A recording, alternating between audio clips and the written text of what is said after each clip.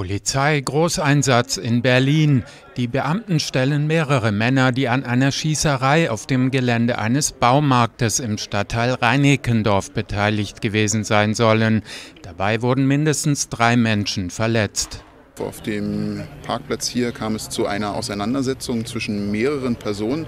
Dabei wurde ein Mann äh, mit mehreren Messerstichen äh, im Oberkörper verletzt. Ein anderer soll ähm, mehrere Schussverletzungen aufweisen und ein weiterer ähm, hat sich anscheinend etwas gebrochen.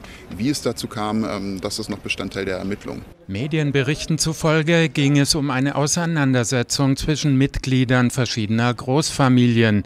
Mehr als 60 Beamte waren im Einsatz. Die Polizei spricht von einem hohen Gewalt- und Aggressionspotenzial.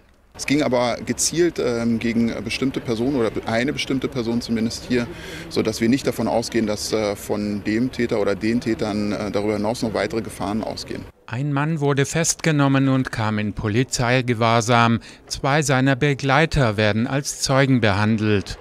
Die Verletzten werden in Berliner Krankenhäusern behandelt. Mehrere weitere Menschen erlitten einen Schock und werden ebenfalls medizinisch betreut.